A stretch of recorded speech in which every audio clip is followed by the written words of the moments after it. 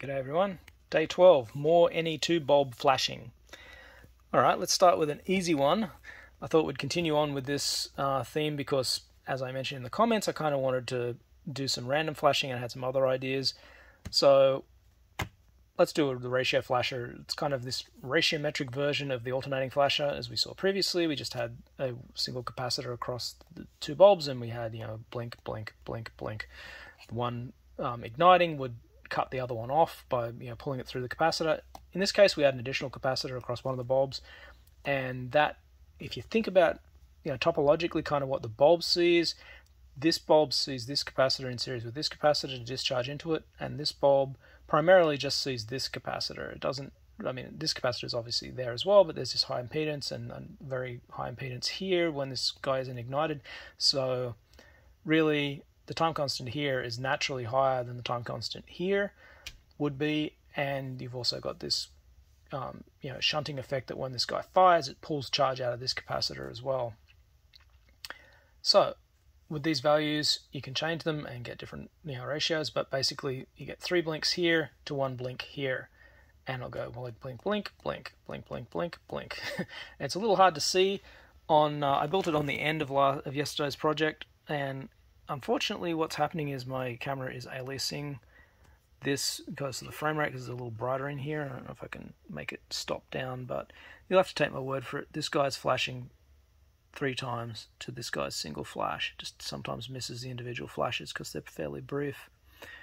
Uh, yeah, it's it, when it first starts up, you know, the first couple of flashes are a bit of a mess, but then once the voltages stabilize, that that's actually true for pretty much all of these circuits. But uh, once they stabilize around the um, you know the hold voltages of these lamps, then it will lock into this pattern of uh, the ratio of flashes. What use is this? I mean, it's not. Maybe it's just different for for you know blink and lighten purposes.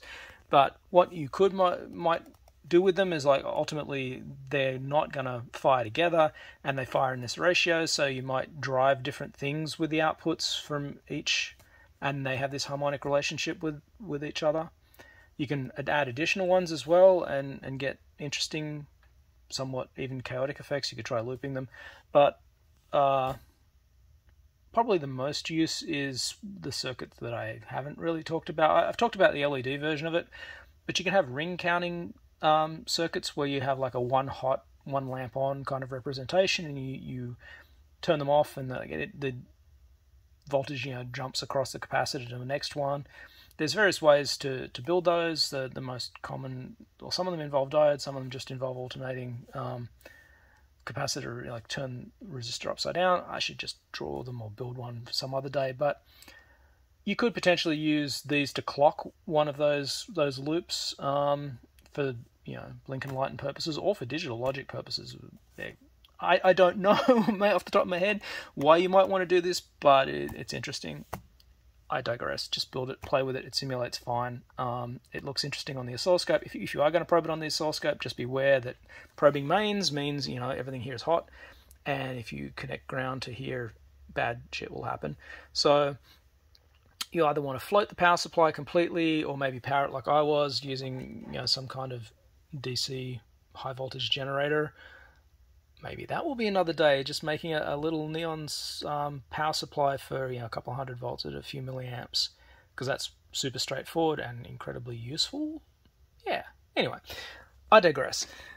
Uh, this is the power supply that we used last time. The other device that, that I'm going to show you in a minute, the random flasher, as promised, um, uses exactly the same power supply, right? Diode, cap, bleeder resistor, series resistor to limit inrush current pretty straightforward.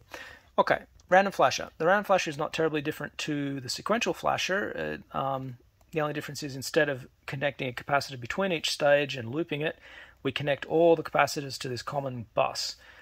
Uh, I guess you could call it the blinking bus. I don't know, but the you don't need to define the voltage on this bus, but I added a 4 meg 7 resistor here mainly to give the capacitors all an actual DC discharge path, you know, through the power supply, so that they wouldn't zap me. Um, but it's also kind of hard to explain how the thing starts up if you don't think of this as having a, a truly defined voltage because all the capacitors are kind of in series, right? And then uh, it doesn't really affect the chaos of the circuit adding this resistor or not having it.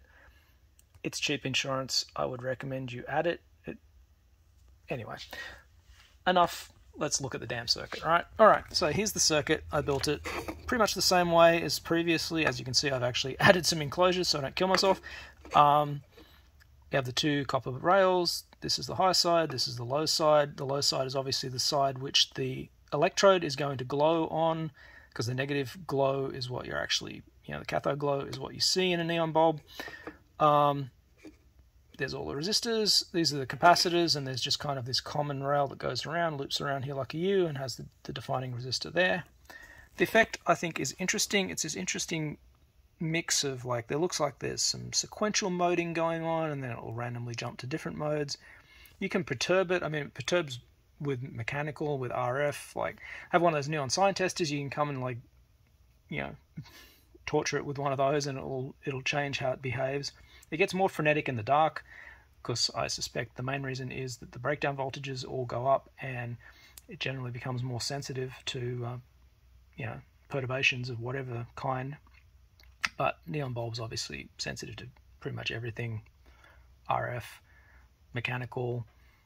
Um, you know, they all have different breakdown voltages. All the capacitors have their own tolerances. So there's a lot going on. To truly understand how this circuit works, I'm not sure that any you know, model is really adequate because when these flash, they produce not only electromagnetic um, emissions, the like the, the, actual light obviously can interact with the, the adjacent ones with the photoelectric effect, and there's a you know coupled radiation. There's a lot going on.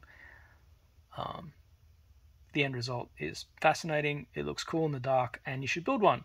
Wouldn't make a terrible Christmas tree topper. Like you could imagine a star. Maybe you have all being the one, or you have uh, one, you know, set, or you have an individual one maybe for each arm of the star, because only one lamp will be on it at once most of the time anyway. Uh, they, they start up and settle down pretty quickly. Obviously, you want to insulate it pretty well, but it don't run straight off mains. But it's the kind of thing you could imagine you plug into the end of your Christmas lights. It pulls virtually no power, and uh, well, maybe it's a little too frenetic though, and it might be a bit of an attention grabber. But it's an interesting circuit. Um, mechanically here, this is just a 50 millimeter piece of acrylic tube. I printed some caps. They're 1.5 millimeter wall thickness. Uh, you know, I just used OpenSCAD to design them. I have a little uh, rounded slot there. If I had thought about it more before I hit print, I would have probably made some kind of cable clamp in the bottom, but I just hot melt glued that, which looks like crap, but works fine. And maybe you want some kind of spreader to ensure that the circuit stays centered. kind of like those mica spacers that you see inside vacuum tubes. It has some kind of keying feature on the thing you're trying to suspend, and it's you know just a little bit smaller than the internal diameter of the tube. Uh, you also might want to put a hook on this end to hang the thing up, or just dangle it by its cord, I suppose. I obviously put the yesterday's project in the same tube to also not kill myself. Um, one additional random flashing circuit is this one, which I found in a book. It's uh, it's interesting topologically. Like you've got these crossovers, right, and it's kind of a, a loop, sort of, but not. Uh, I built it originally with with all the, the capacitors and resistor values being the same, and it does work. It's not perhaps as interesting if you don't have different time constants. So I put 470 nano here, 220 nano here, and 100 nano for those two. These are 10 meg. It requires a high voltage, obviously, because you have two neon bulbs in series, at least to start up. Once it stabilizes, there's capacitor voltages, you know, charged up, uh, and things are a little bit, well, more complicated, shall we say. Really understanding how this works, I'm not sure I completely do understand how this works. It's also a little underwhelming. I mean, we can we can look at the physical circuit here. Um, Although, to be fair, I may have damaged this circuit a little bit because I cranked the voltage up and down a few times and may have damaged one of the capacitors, but it's pretty much doing what it did when I first powered it on. It looks sometimes like it's stuck in a mode, but then it will get out of it, it will jump out of it. It's again very sensitive to light and the amount of time that it's been on, so there's probably temperature stuff going on.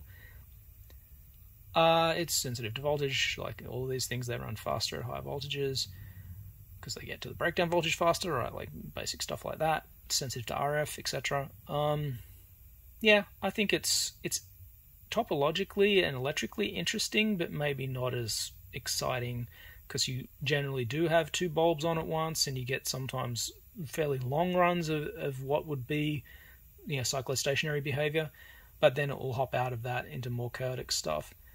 So fascinating. Not sure I completely can explain exactly how it works, but build it, play with it. It's interesting. If you're in the US and you actually want to run off the mains, you'll need a voltage doubler of some description.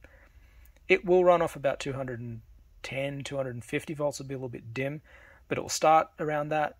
This will be fine, right? Like two capacitors, two diodes, inrush limiter, discharge resistor.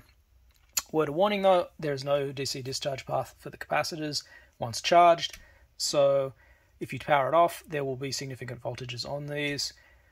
I dealt with this situation by simply flossing the circuit with a piece of solder to discharge the capacitors, you know, just shorting them out. That worked fine, and I was also just pretty careful with it. Like right now it's charged, and if I picked it up, I'd, oh, I mean, the rails are fine, but those interstitial capacitors are floated right with the high impedances of the bulbs, so they can they can give you an unpleasant shock. It's not going to kill you, Right, the worst, the biggest one there is 470 nanoamps charged to a couple hundred volts. It's not going to hurt that bad. Definitely not going to kill you, but it's you're going to probably swear. So to avoid that, just be careful. It's difficult to add discharge resistors here because of these fairly high potentials, high resistors already. I mean, if if you like scaled everything, then maybe you know 10 megs or, or would be acceptable. You could either put them across the capacitors or across the LEDs, uh, across the neon bulbs themselves. I don't know if you'd actually want to do that or just be careful with it, or maybe just not build it because it's actually not as cool as this, even if it does require a few more capacitors to build this. This is definitely more scalable and more understandable. uh, from what I can tell, it can scale up almost indefinitely, but it does have that limitation that there's really only one bulb on at a time. Um, yeah, make of that what you will. It might just matter in the application that you're using for the blinking lights. Okay, that's uh, that's kind of it for today. Um, apologies for not getting this video out earlier. There's been very significant wind and rainstorms here, and the electrical infrastructure and data network around here got pretty much destroyed. I had power outages for several days on and off, and I had no internet until only about an hour ago when they finally physically reconnected the cables that had been taken out by trees. So I'm I'm fine. There are many people in this uh, more lower lying areas than I'm in who got flooded by the river, local river breaking its bank. So, um, obviously, I feel a lot worse for them than me just complaining, oh, I didn't get my video done on time. So, anyway, I will endeavor to try and catch up. This is obviously day 12, we're halfway. Try and do something completely different tomorrow. And uh, I think that's everything I wanted to say about neon blinky things for now. Alrighty. See you tomorrow.